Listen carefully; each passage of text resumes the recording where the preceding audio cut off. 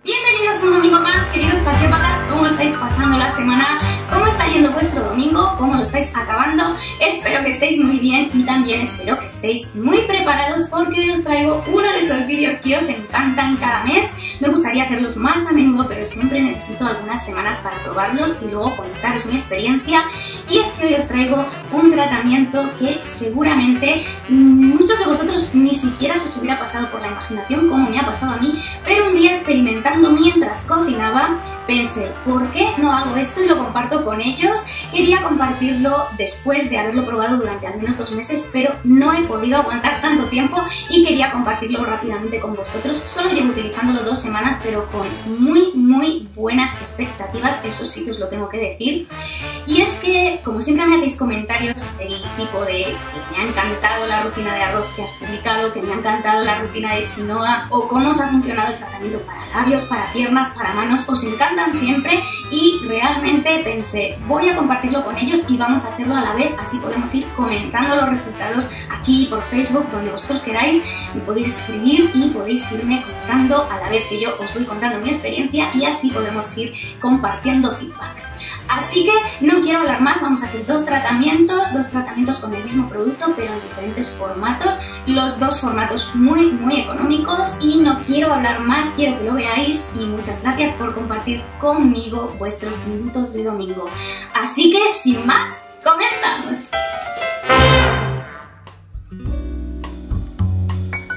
Para la primera mascarilla vamos a necesitar gelatina en hojas. Podéis coger como modelo un molde de una mascarilla que ya tengáis para labios o para ojeras. Sin embargo, como esto a lo mejor no lo tenéis, es muy fácil, podéis ir a cualquier web online donde vendan este tipo de productos y copiarlo. Para sacar el molde yo siempre suelo utilizar algas nori porque os voy a dejar por aquí un enlace. Utilizo también estos parches de algas para hacer mis tratamientos, mis antiojeras y estas cositas lo único que tenéis que hacer es colocar los moldes que hemos hecho con el alga nori sobre las láminas de gelatina.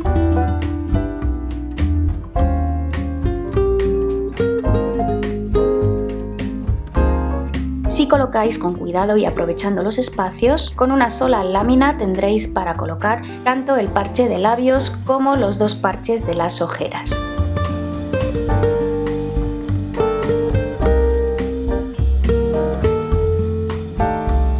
Fácil, muy rápido y en dos minutos tendréis ambos parches.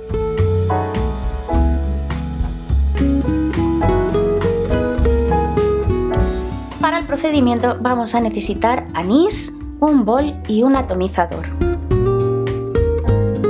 Una tetera o un cazo para preparar una infusión de anís, un par de cucharaditas por litro de agua será suficiente.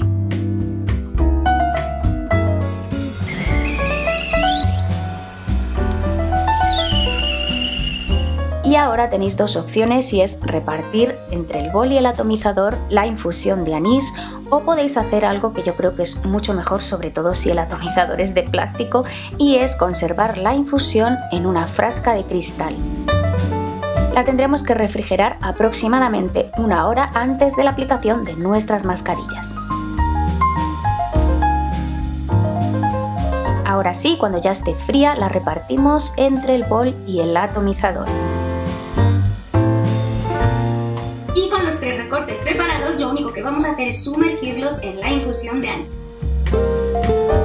Las dejaremos ahí hidratarse durante unos 2 o 3 minutos y a continuación las vamos a aplicar sobre las ojeras y sobre los labios.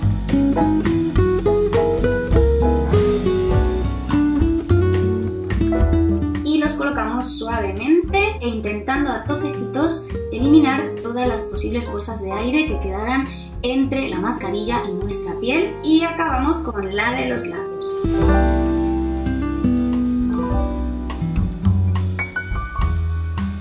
Y los vamos a dejar actuar sobre las ojeras y sobre los labios entre 10-15 minutos.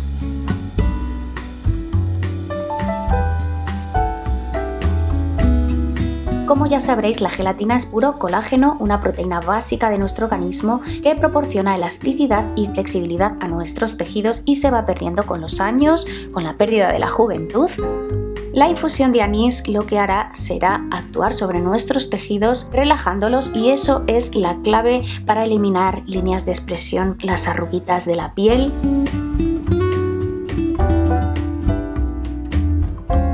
Y además proporciona ese aspecto descansado que tantas mañanas buscamos en nuestros rostros. La advertencia más importante de todas es el procedimiento para retirarlo. No tenéis que tirar nunca porque podéis dañar la piel. Tendréis que humedecerla con un aceite, con la infusión de anís que nos ha sobrado, con un poquito de agua, pero no lo hagáis por favor nunca, nunca en seco.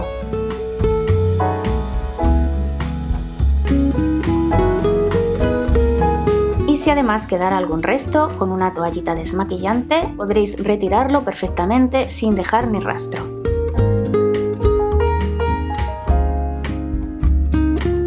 y definitivamente este tratamiento es un 10 en suavidad.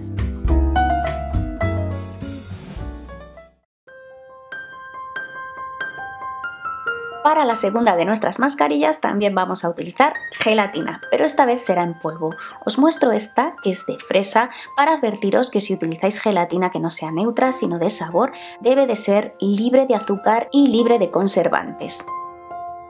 También vamos a necesitar una mascarilla de celulosa. Podréis construirla sencillamente con una toallita desmaquillante o de bebé. Y lo único que tendréis que hacer será recortar los orificios de ojos, nariz y boca. Necesitaremos 100 ml de agua, una taza de camomila o manzanilla y dos sobres de esta gelatina en polvo. Calentaremos el agua en un cazo hasta que rompa a hervir y una vez que esté hirviendo añadiremos la manzanilla o camomila y la dejamos hervir durante unos minutos. El siguiente paso será simplemente colarla y extraer la máxima sustancia posible, cerciorándonos siempre de que conservamos los 100 ml y no se ha evaporado nada de líquido en la cocción. Lo llevamos otra vez al fuego y a fuego muy lento agregamos los dos sobres de gelatina y removemos, pero por favor que no hierva, porque si hierve habremos fracasado. Podéis utilizar cualquier aceite que os guste, a mí me encanta el de almendras, para bañar el recipiente que nos servirá de molde. Y este recipiente tiene exactamente el mismo diámetro que la mascarilla de celulosa, son unos 20 centímetros. Agregamos la mezcla de gelatina y camomila y llevaremos a refrigerar durante 30-60 minutos hasta que endurezca y esté muy fría.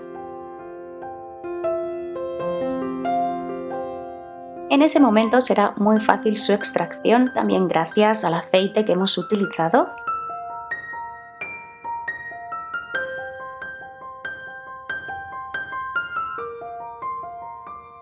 y el siguiente paso será generar los orificios. Como veis se transparentan los orificios de la mascarilla de celulosa, así que va a ser muy muy fácil con cualquier objeto punzante dibujando tanto los orificios de los ojos como de los labios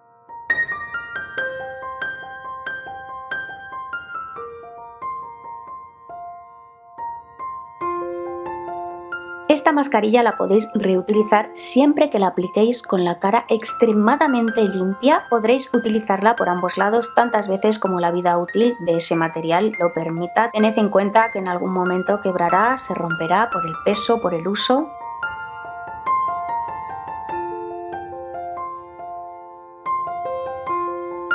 Para su conservación siempre refrigerada, siempre. Lo que yo utilizo es un papel film, un papel de plástico, la envuelvo y la introduzco en un recipiente hermético.